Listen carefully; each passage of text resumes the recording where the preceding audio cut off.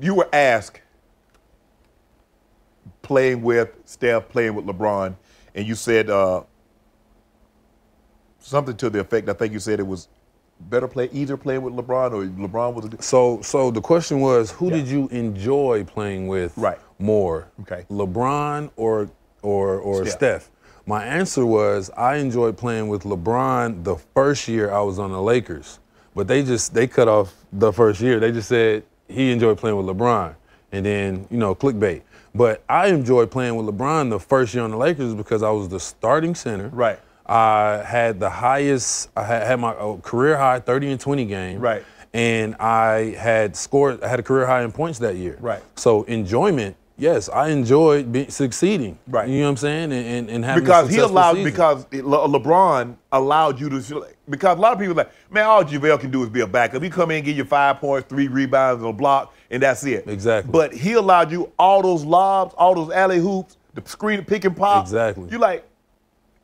Man, if I'd have had this dude my whole career, You see what I'm saying? I might have been an all-star team exactly. Exactly. So I'm like, which one did I enjoy? I enjoyed that. I didn't. I, I didn't enjoy not playing a lot in Golden State, but I enjoyed winning. Right. I enjoyed hanging Right. out with those guys. Right. I enjoyed playing. But you have everybody has that selfish bone in their body where like I want to succeed too. Right. You get what I'm saying? It's nice to win, but I like to think I'm a part of a big part of this winning. I mean, you, Exactly. when you you guys won the championship uh, uh, last year, year before last, you were a big part of that. Mm-hmm. Exactly. Now, there- there were some series that you didn't play a bunch, Yeah. but But you, people you people f- people forget we were the number one in the West, and I was the starting center the Yes. whole year. Yes. You know what I'm saying? Right. So when the playoffs comes, playoffs is situation. about matchups. You never know who you're gonna get in the playoffs. Right. And they they could change it any day. So that, that, I definitely enjoyed that first year with the Lakers. how how's LeBron as a teammate? I mean, you know, people, you know, you see him, and you know, because I think sometimes now people have taken what he does for granted. Yeah. But how is he as a teammate? How great is LeBron?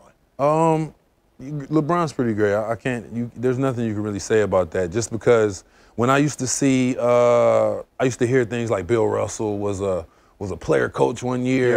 and I was like, how do you how are you a player coach? How's that a thing? But after going to the Lakers, I understand how a player could be a player coach. Right. Because just the the not only playing the game.